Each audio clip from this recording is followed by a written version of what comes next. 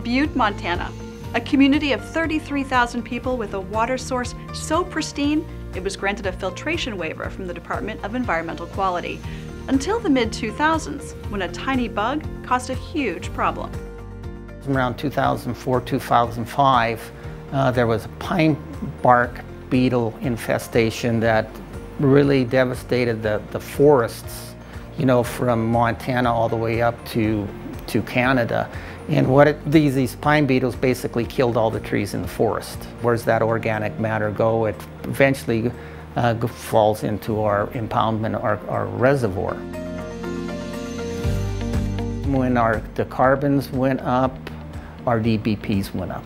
In August of 2010, the Department of Environmental Quality uh, issued a violation notice to Butte Silver Bow. We exceeded the MCL for a certain type of disinfection byproduct. So we wanted a plant that was going to create finished water with very little DBP formation potential to control disinfection byproducts. With this new plant, we wanted to accomplish the, uh, the use of gravity for the driving power to run the filtration plant. And um, we had the opportunity to do that because of the elevation difference between the reservoir and the distribution system. The ceramic membrane offering had some advantages when it comes to the pressure ratings. Uh, they have a little higher pressure rating and allowed us to better capitalize on the gravity power.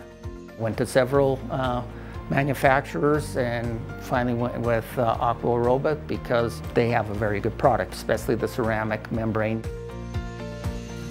and we could have up to 75 psi on the raw water side of the membrane. So that allowed us to maximize the gravity flow through this plant which was a huge advantage from a power savings point of view. You know, it's a very inexpensive plant to operate.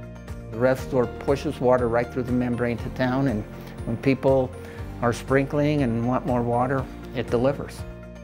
It's the first ceramic membrane, gravity powered on-demand plant in the country. We've been really pleased with, with how well the system works and how, you know, how, uh, how efficient it is. Since we're so far out here in the mountains, we didn't have an opportunity to dispose of the backwash waste.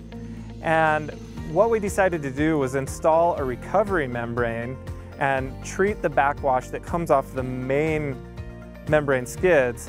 When we wash a filter, it's uh, recirculated back into our other membranes, reuse that water. Very little water is, is, is wasted.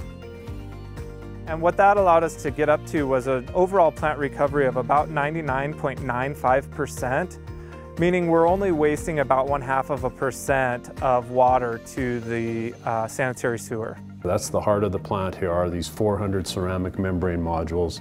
Um, they have a nominal pore size of 0.1 micron, so they remove down to a very small particle. The membrane provides a positive barrier to pathogens, which allowed us to get a higher disinfection credit. They don't need to dose as much chlorine and that also results in uh, better performance for disinfection byproducts. Another big advantage of this membrane, most membranes need to be washed or cleaned with a full chemical clean every 30 days. We're just now doing them this week after a year.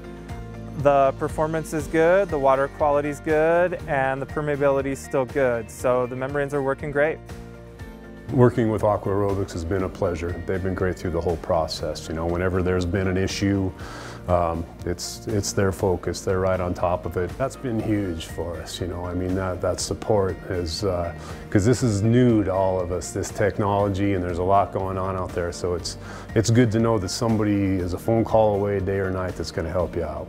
It's a, a newer technology in the United States, being one of the first installed, and we get to have it right here in Montana, which is pretty cool. The community's kind of had a reputation for substandard water quality for a long time. And then and 30 years ago that might have been fair, but since then we've installed filtration plants for our big hole source and our Moulton source, but this plant was the final piece of the puzzle.